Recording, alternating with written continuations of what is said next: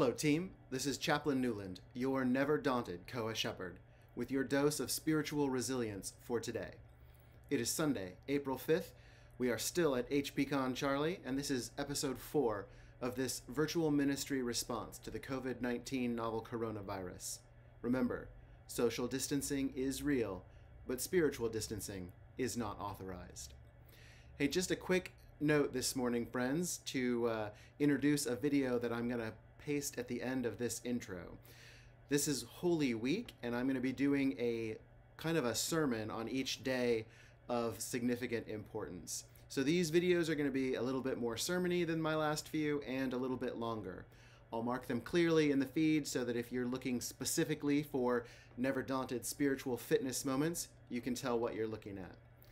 This video that is about to follow is going to go to multiple places. It'll be posted here for Spiritual Fitness Minutes. Uh, it's going to go to my Fort DeRussy chapel feed, and it's also going to probably end up in front of some civilian church friends. So you're going to get kind of a double introduction as I get started here. Oh, and I'll be wearing my church clothes and not my army clothes. So fair warning to those of you who only ever see me in the office and not on Sundays. Enjoy, and a blessed Holy Week to you and yours, wherever you may be. Christians around the world mark this Sunday with a story of Jesus riding into Jerusalem on the back of a borrowed donkey. We call it Palm Sunday, after the palm branches that are waved while Jesus parades into the city. Or we call it Passion Sunday, for the events that quickly follow of Jesus' trial and crucifixion. Either way, today is the entry into Holy Week the most sacred space in the Christian calendar and the pivot point of the history of salvation. Let's begin by hearing the scriptures. This is the Holy Gospel of our Lord Jesus Christ according to St. Matthew at chapter 21, verses 1 through 11. When they had come near Jerusalem and had reached Bethphage at the Mount of Olives, Jesus sent two disciples, saying to them, Go into the village ahead of you, and immediately you will find a donkey tied and a colt with her. Untie them and bring them to me. If anyone says anything to you, just say this The Lord needs them, and he will send them immediately.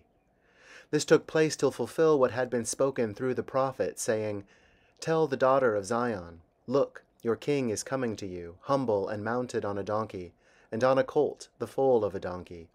The disciples went and did as Jesus had directed them. They brought the donkey and the colt and put their cloaks on them, and he sat on them. A very large crowd spread their cloaks on the road, and others cut branches from the trees and spread them on the road. The crowd that went ahead of him that followed were shouting, Hosanna to the Son of David! Blessed is the one who comes in the name of the Lord! Hosanna in the highest heaven! When he entered Jerusalem, the whole city was in turmoil, asking, Who is this? The crowds were saying, This is the prophet Jesus from Nazareth in Galilee.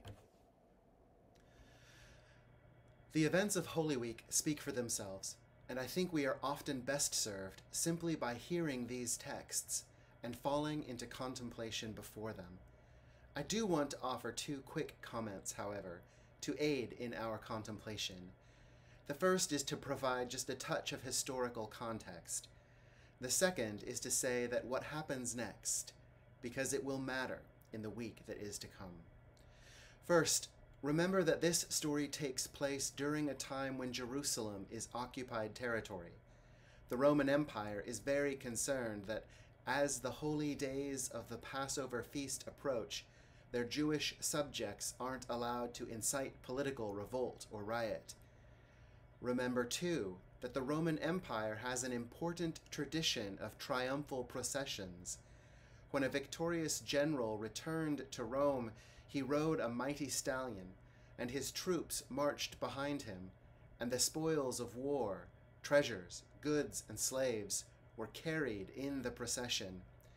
This triumphal parade is part of the national and religious language of the Roman Empire. By the first century, only Caesar gets to have a triumph. And so when Jesus enters Jerusalem riding on a donkey, a beast of burden and work, rather than a beast of battle and might like the war horse, and leads not an army of soldiers, but a ragged band of followers and disciples. He is making a statement, a statement that we might miss, but that those waving their branches of palm and cheering this prophet from Nazareth could not have missed. To name Jesus as King of Kings and Lord of Lords in this manner is to say not only that that is what Jesus is, it is also to say that that is what Caesar is not. Caesar laid claim to the title Son of a God.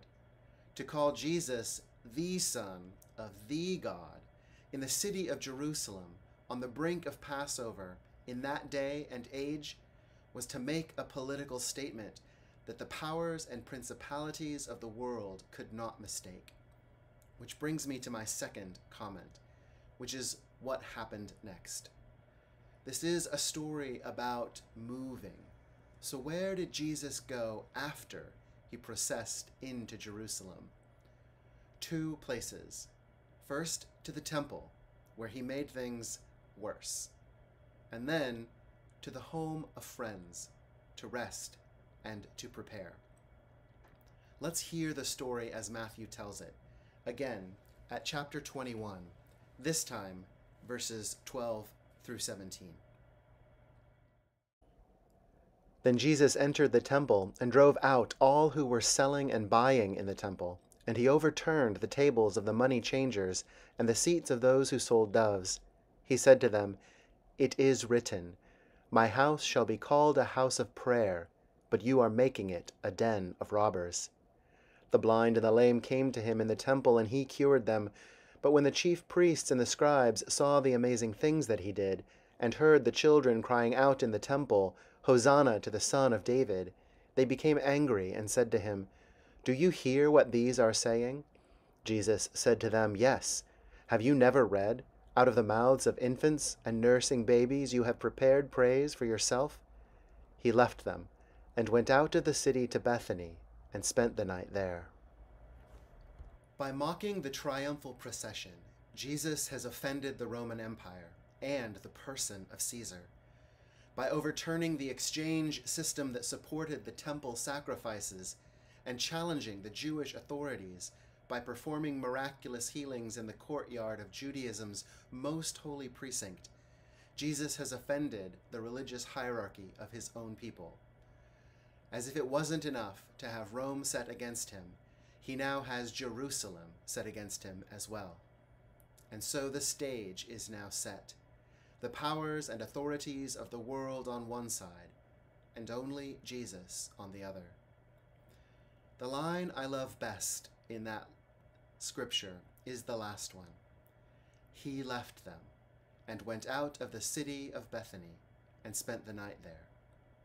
Bethany, of course, is the nearby village where Martha and Mary and Lazarus live. In the midst of a deadly uproar that he has called upon himself, Jesus withdraws to the home of his friends, not to avoid what is coming, but to hold fast those things which are most precious in dark times, the love and presence of those close to our hearts. And so the stage is set for our journey through Holy Week.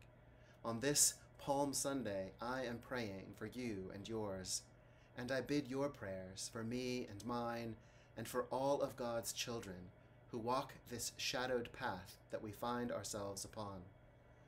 I'll leave you with this prayer, which begins the liturgy of Palm Sunday, and thus begins the work of this most sacred week.